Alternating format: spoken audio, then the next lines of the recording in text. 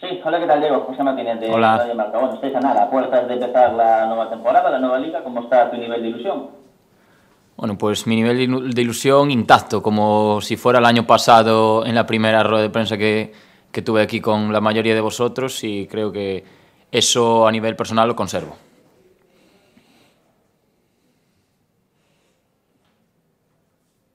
Sí, ¿más preguntas? Sí, Suso Fernández, la voz de Galicia. Hola, Diego. Eh, dos, dos cosas. A nivel general, bueno, eh, ha habido un cambio de, técnico. Eh, ¿Qué os ha traído este, este nuevo entrenador? ¿Qué estás viendo, eh, pues sobre todo en, en tu posición que, que ha cambiado para el equipo? Luego, a nivel personal, en cuanto a, a tu futuro en el, en el deportivo, tu ampliación de contrato, ¿cómo, cómo va esa situación?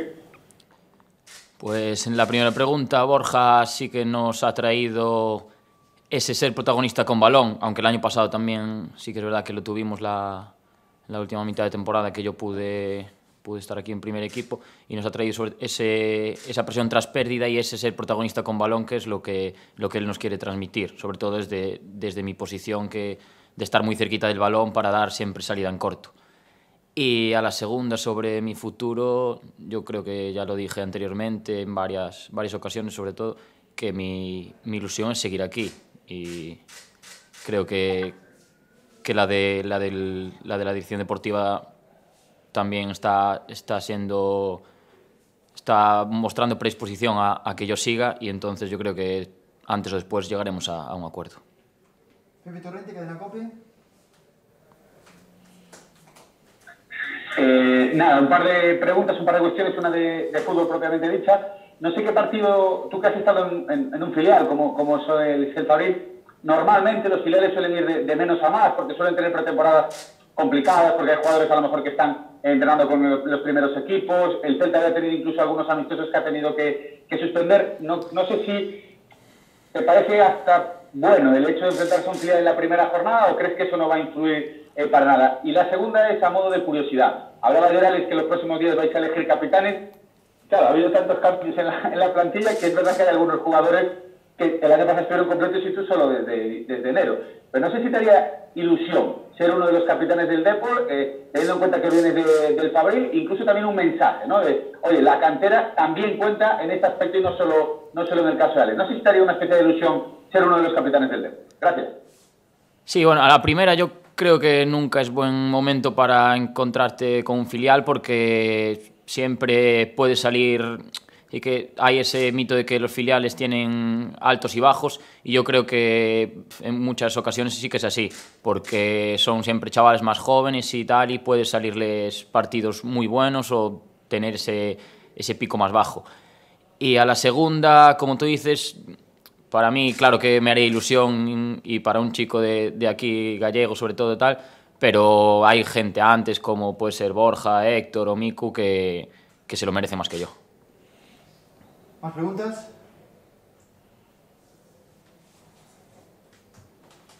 Sí, Adrián Cantar, Cadena Ser. Bueno, ¿cómo estáis en esta preparación? ¿Cómo definirías el punto que a estas alturas de, de la película del verano? ¿Cómo de preparados estáis para una temporada que va a ser muy larga?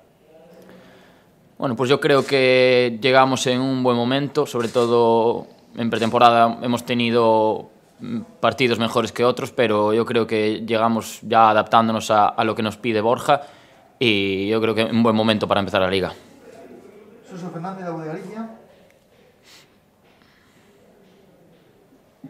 Lo que sí que se ha visto un poco en, en estos amistosos, aparte de, de darle bastantes vueltas a, a ese centro del campo, que, que me gustaría saber por, por un lado qué prefieres tú eh, en cuanto a disposición, jugar con dos compañeros en, el centro, un doble pivote, eh, qué, es lo que más te gusta a ti. Y luego, a nivel de mm, trabajo, sobre todo de, de repliegue y, de contención, no sé si mm, todavía falta por, pulir un poco, porque sí que ha dado una sensación en el equipo de mayor fragilidad que, que la temporada pasada.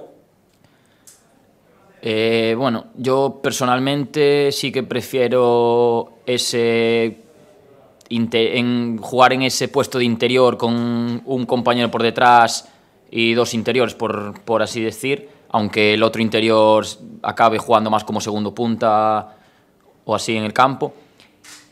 Y la otra pregunta, ¿cuál era? Surso. Ah, Eh, la- sobre que parece que hay mayor fragilidad o, o que todavía está por, por pulir el, el tema de a nivel defensivo, de repliegue, eh, respecto al, al año pasado. Sí, sí que, al- sí que algo, algo hemos sufrido ahí en algún partido, sobre todo más que, más que en otros, pero yo creo que también para eso está la pretemporada y ahora esperemos que ahora que empieza la liga ya mostrar más, más seguridad atrás. Oscar Martínez, Radio Marca. Sí, Diego, ¿notáis la presión del ascenso? Es decir, la presión de que hay que ascender, entre comillas, esta expresión, sí o sí a segunda división, o lo que os traslada el club, lo que os traslada el cuerpo técnico, lo que os traslada un poco la gente con la que estáis en el día a día, es que vamos a ir partido a partido. Sobre todo eso, lo segundo que dices, sí que no se nota la presión, por así decir, pero sí que hay ese ambiente de, de ilusión por, por conseguir algo bonito entre todos. Torrente, Cadena Cope. Vamos a ver. Ayer hablaba el consejero de Sanidad sobre el tema del aforo de Riazor, porque va a ser una de las grandes novedades. Esperemos que cada vez pueda entrar más gente. Y aunque no dio la cifra exacta, dice que quiere equipararse un poco al fútbol profesional, es decir, 40%, que sería superar los 10.000 espectadores.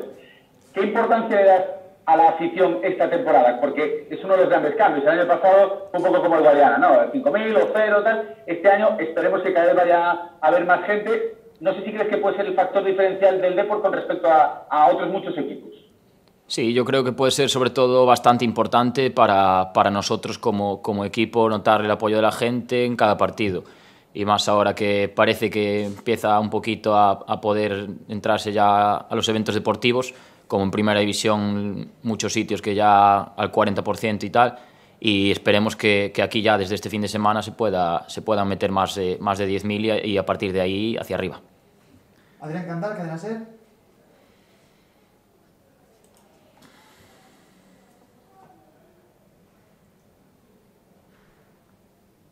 Sí, se me oye ahora. Sí.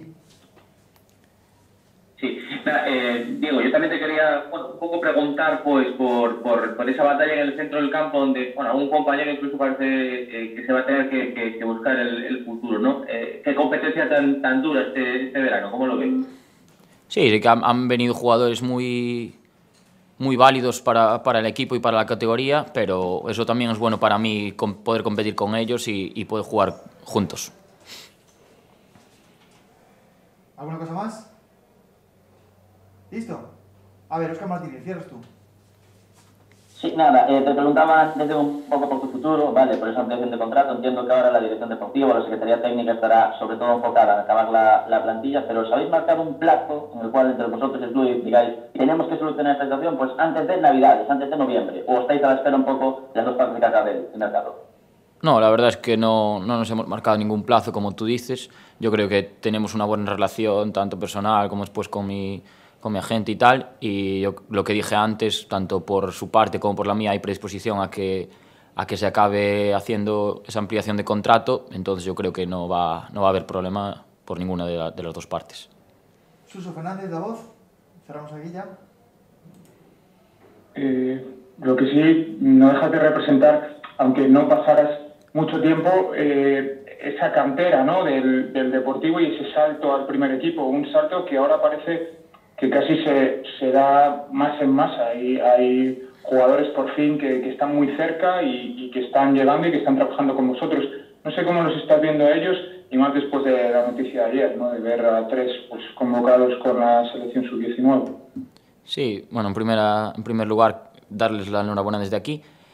Y en segundo, yo creo que ya lo dijo la mayoría de, de personas que, a las que les preguntaron, que son, tienen, son válidos de sobra para, para estar con nosotros y lo están demostrando. Y a partir de ahí son chavales jóvenes a los que hay que dar un margen también para que, que vayan mejorando y que se vayan asentando en el primer equipo. Vale. Muy bien. Gracias, Diego. Gracias a vosotros. todos.